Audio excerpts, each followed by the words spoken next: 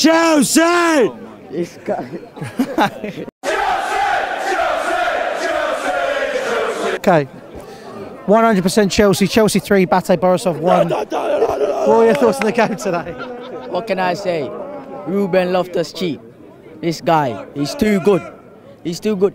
You know what? Yeah, I think I think like the fact that we have a problem, like we don't know who to put in the midfield because everyone is good.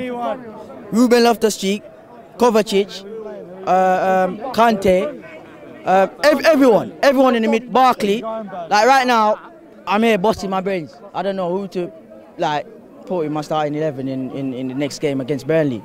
But I think maybe Barkley should come out. Barkley, yeah? Yeah. Despite this amazing form at the minute. Yeah, yeah, yeah. And Ru- look, he sco- Ruben Loftus Cheek scored three. He scored three goals today. Like he should definitely go in the starting eleven for the next game. And obviously, maybe I don't know, he will score next game. But I, I thought everyone played well today. Everyone played well today.